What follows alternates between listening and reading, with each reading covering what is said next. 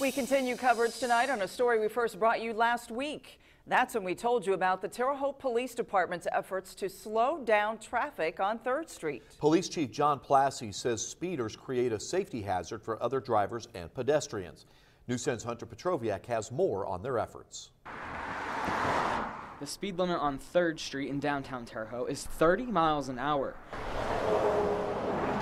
But by the looks of traffic, you wouldn't know it. Officer Artie Tanetti spends his day monitoring traffic speeds.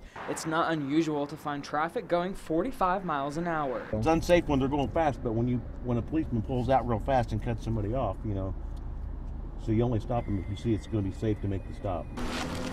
Tanetti says officers don't necessarily like writing tickets, but they've been doing it frequently with the push to slow down 3rd Street. Last month, I think I made 124. One reason for the increase in patrols is with the warmer weather comes more traffic on the street and more traffic on the sidewalks. You're going to have more people out, more kids out, kids on bikes. Um, and that's, that's when the light changes for them. A lot of times they'll see the green light and they'll just go ahead and cross. Well, if you've got a speeder that's coming and they can't stop for that red light, that's just another, you know, accident waiting to happen.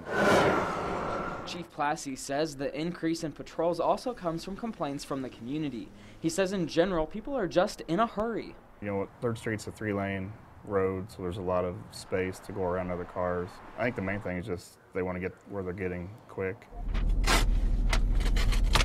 And if you continue with those fast speeds, you might soon meet Officer Tanetti and get an unwanted fine. In Terre Haute with Chief Photojournalist Mike Latta, Hunter Petroviak, News 10. Plasse says they change the places they monitor on 3rd Street according to the complaints they get from the community.